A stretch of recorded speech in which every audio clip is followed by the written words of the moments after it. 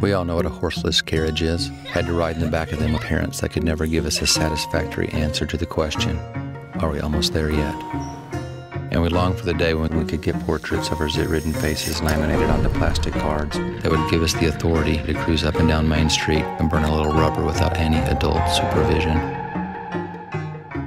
The average 16 year old boy in America would rather have his own set of wheels than make out with the captain of the varsity cheerleader squad.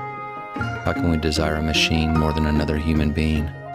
Well, the answer is quite simple yet absolutely profound. Every driving machine has a body, but for a cube of metal to become a living, breathing entity worthy of our interest, our passion, and our drool, it must have a soul. For a body without a soul is just a lifeless, inanimate frame that will one day be returned to the elements from which it came. So it is up to the maker of the machine to breathe life into its creation.